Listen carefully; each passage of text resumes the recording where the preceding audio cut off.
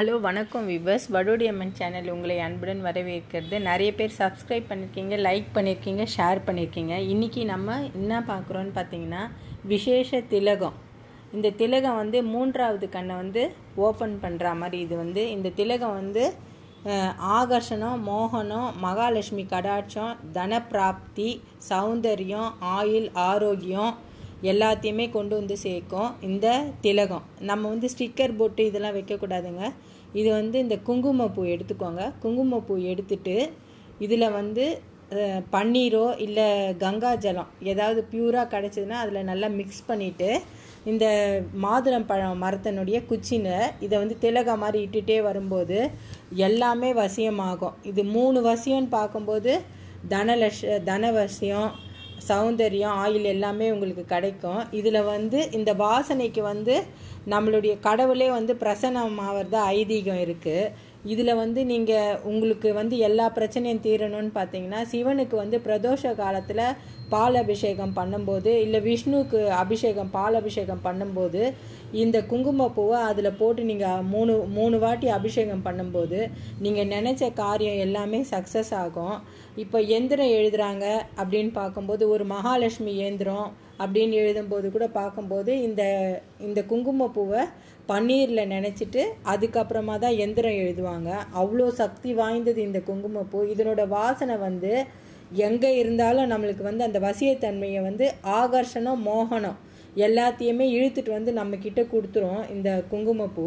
இதை வந்து நீங்கள் யூஸ் பண்ணி பாருங்கள் அப்புறம் வந்து நம்ம நினச்ச காரியத்தெல்லாம் வந்து வ வசியம் பண்ணுறது எப்படி? வசியமை நம்மளே டெய்லி வந்து இட்டுட்டு போகிறது எப்படி அப்படின்னு பார்த்துக்கலாம். அந்த அந்த திலகம் எப்படின்னு பார்க்கலாம்.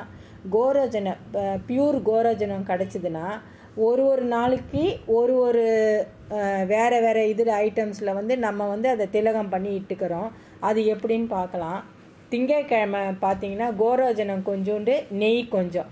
இது ரெண்டும் மிக்ஸ் பண்ணி நீங்கள் நெத்தியில் நடு அந்த புருவ மத்தியில் மோதிர விரலில் நீங்கள் திலகம் இடும்போது நீங்கள் வந்து திங்கக்கிழமை எந்த காரியத்துக்காக வெளியில் போகிறீங்களோ இது வந்து இந்த திலகம் வந்து உங்களை பாதுகாப்பு அரணாகவும் நீங்கள் நினச்ச காரியமும் சக்ஸஸ் கொடுத்துரும். இது அவ்வளோ வசீகர தன்மை வாய்ந்தது.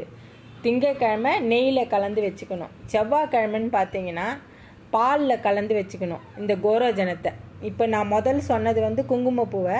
ரெண்டாவது டாபிக் வந்து கோரோஜனை. ஆனால் கோரோஜனை வந்து பியூராக இருக்கணும். அப்போ தான் வந்து இது பழிக்கும் விவர்ஸ் அப்புறம் புதன்கிழமை. புதன்கிழமை பார்த்தீங்கன்னா கொஞ்சம் கோரோஜனை கொஞ்சம் பால்.